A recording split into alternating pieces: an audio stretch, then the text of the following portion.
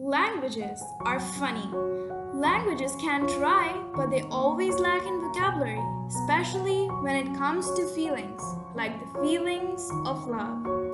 You may give it a try and learn the dictionary by heart, and yet you too would be speechless defining the person you love.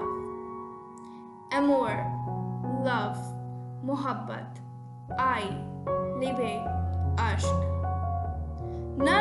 Words in any of these languages can ever define a mother's love because her love is in those feelings, in those memories, in those moments she created with you. Your mother's love knew no boundaries, no limits. She gave you her care, her love, her night's sleep, her youth, her heart, her freedom. And then, what was left of her to give? Wish of a person is a mother, gives you each and everything she has, and in return asks for nothing, nothing at all, except for the desire to be loved back. I know you're a busy person. You have a busy life, a busy schedule. I know. I know you have a lot of important people in your life your friends, your family, and I know you have to give time to them. These are the people you love. But what about the people who love you? Like your mother. How hard it is to call her once a week. How hard is it to just say that you love her?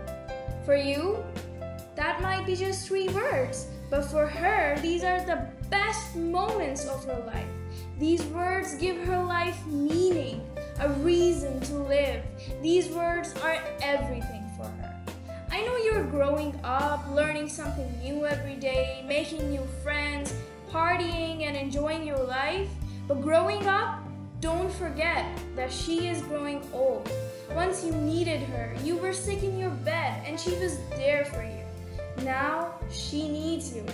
She is sick in her bed, and you should be there for her. Love her like she loved you. Help her like she helped you. Take care of her like she took care of you.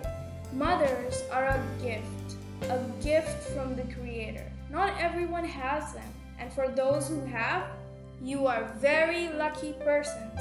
Take care of them, for you still have them. Happy Mother's Day.